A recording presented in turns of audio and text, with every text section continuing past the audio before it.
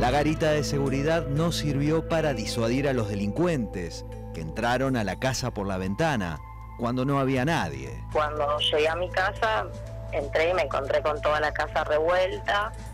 Eh, bueno, salí a buscar a la empresa de seguridad, que, tenemos un servicio contratado entre todos los vecinos, llamamos a la policía, vino la policía, ingresó en la casa, no había nadie ya. Al volver a la vivienda desvalijada, la dueña de casa cayó en la cuenta de que se habían llevado todo, hasta el vestido de novia, que pensaba usar la semana próxima estaba todo dado vuelta, o sea, todos los placares vacíos, se llevaron todo, ropa, desastre, vestido de novia, calzado.